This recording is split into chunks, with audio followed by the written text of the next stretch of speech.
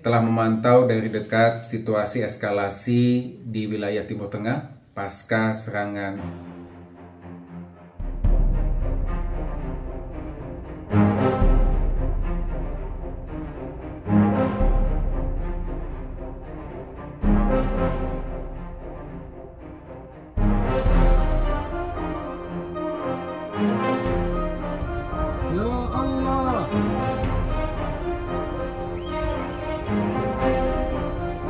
Muslim.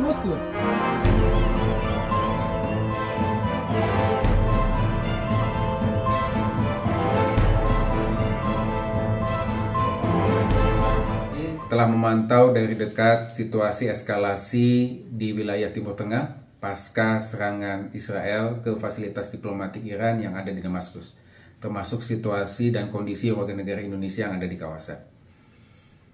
KBRI Aman telah menjalin komunikasi dengan para WNI yang tinggal di wilayah Israel dan hingga saat ini tidak ada informasi mengenai adanya WNI yang terdampak atas serangan balasan Iran kepada Israel pada hari ini.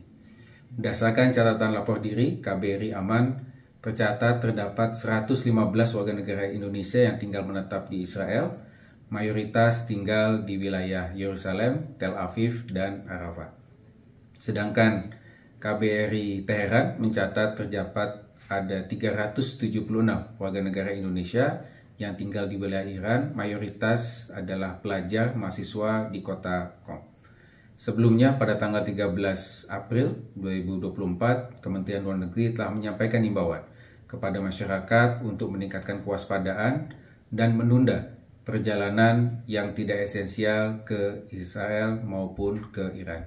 Dan jika terjadi situasi kedaruratan, agar segera menghubungi hotline perwakilan RI yang terdekat.